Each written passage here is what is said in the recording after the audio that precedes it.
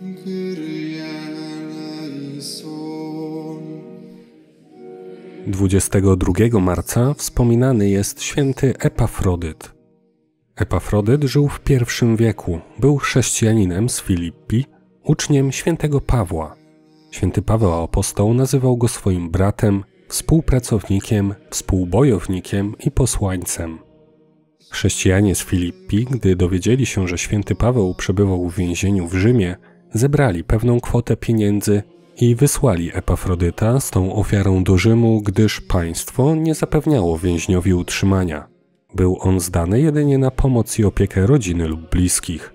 Epafrodyt w Rzymie tak poważnie zachorował, że był bliski śmierci.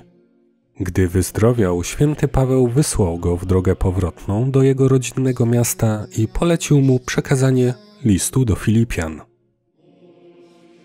Módlmy się. Boże, tylko Ty jesteś święty i bez Ciebie nikt nie jest dobry. Spraw za wstawiennictwem świętego Epafrodyta, abyśmy prowadzili życie prawdziwie chrześcijańskie i mogli oglądać Twoją chwałę w niebie.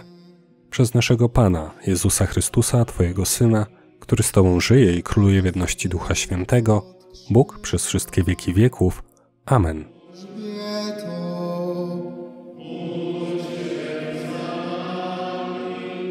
Wszyscy święci, święte Boże.